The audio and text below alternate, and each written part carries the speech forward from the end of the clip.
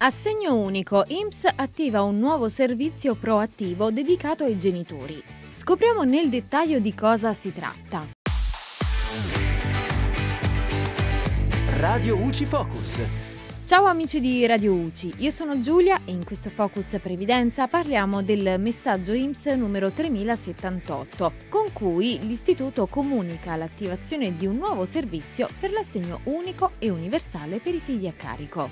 In pratica, ora l'INPS contatterà via email i genitori che hanno appena avuto un figlio, invitandoli a presentare la domanda di assegno unico universale oppure ad integrare il beneficio già percepito per altri figli a carico. Più nello specifico, il servizio viene erogato dalla piattaforma di proattività finanziata dal PNRR, che è in grado di rilevare la nuova nascita come evento abilitante per il diritto all'assegno unico.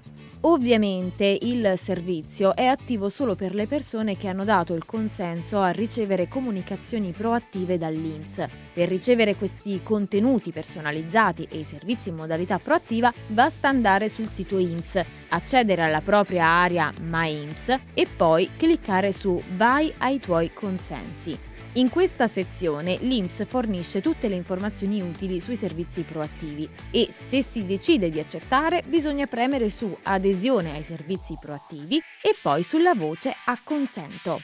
In generale, comunque, il nuovo servizio si inserisce nel processo di progressiva semplificazione dell'attività amministrativa che segue il piano strategico digitale 2022-2025. Nel messaggio numero 3078 IMSS spiega che la proattività dei servizi è da intendersi come un nuovo approccio tra istituto e cittadini, capace di anticipare e soddisfare più velocemente le richieste degli utenti, informandoli preventivamente delle prestazioni a cui hanno diritto. Per il momento quindi l'attivazione del servizio proattivo riguarda solo i potenziali beneficiari dell'assegno unico, ma nei mesi che seguiranno verrà esteso anche ad altre prestazioni.